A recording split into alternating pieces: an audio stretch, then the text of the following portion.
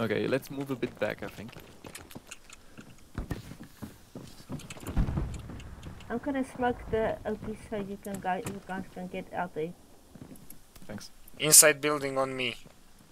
At least one, maybe two. Possibly recon. Just get down, get down, get down, get down. Okay, smoke is up. One dead. There's two guys in the cafe. Uh, Two dead. Ah.